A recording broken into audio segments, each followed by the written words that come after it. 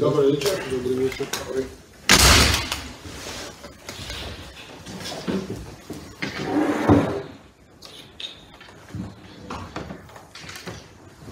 Коллеги, продолжаем пресс-конференцию. С нами главный тренер хоккейного клуба «Спартак» Рафаэльевич Миронов. Тренер, ваш комментарий по игре. Ну, хорошая игра. Очень скоростная получилась в первой минуты до последней. А, что могу сказать по своей команде? Играли два периода по плану. Третий что-то потеряли концентрацию. Получили ненужное удаление, оставили команду 3 на 5 два раза. Ну, выстояли, молодцы. Самое главное, что так нельзя играть при счете 1-1 в третьем периоде. Сейчас был короткий разговор. Перевели игру в овертайме. В овертайме опять допускаем ошибки, неправильная игра. 3 на 3 тоже будем добавлять, исправлять.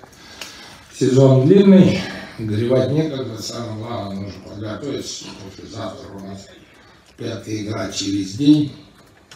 Да, уже где-то усталость накапливается. Но будем стараться, может быть, завтра восстановительную какую-то тренировку сделать, чтобы подготовиться правильно как ваш. Поэтому на сегодня вот так. Спросите, коллеги, вопрос. Антон. Борис Олегович, э, вы все правильно сказали насчет того, что хорошо в меньшинстве играли. А вот в большинстве тоже у вас было достаточно много шансов, но вот одну шайбу всего забросили и все. Да, не используют, правильно вы. У нас тоже был шанс 5 на 3. Надо было решать игру в этот момент. Ну, не получилось то, что хотели они. То, что мы работали на тренировках, и сегодня это не получилось. Значит, будем дальше работать.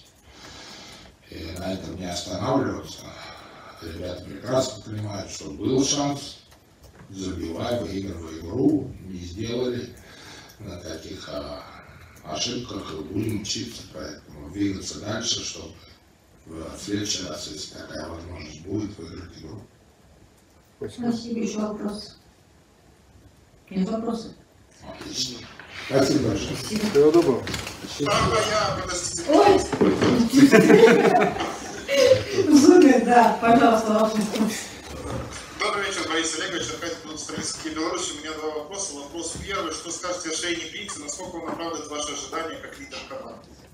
Да, Ну, мы не выделяем, как я уже говорил в начале сезона, никого. Мы играем командой, одним целым, поэтому все ребята стараются, у кого-то получается, более-менее у кого-то нет.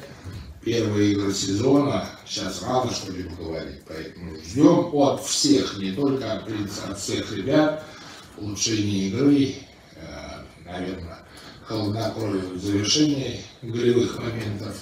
Думаю, что от игры к игре должны они более уверенно себя чувствовать и забивать больше голов. Конечно, с одним голом тяжело выиграть отдельный матч.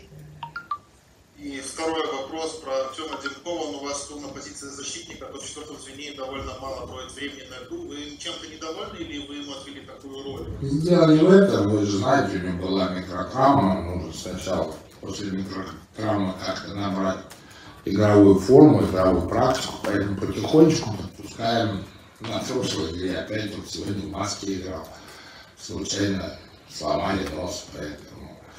Ну вот так вот потихонечку будем приводить в порядок после травмы, и когда будет готов на 100%, то обеспечить себе место в составе. Спасибо большое. Спасибо. Спасибо.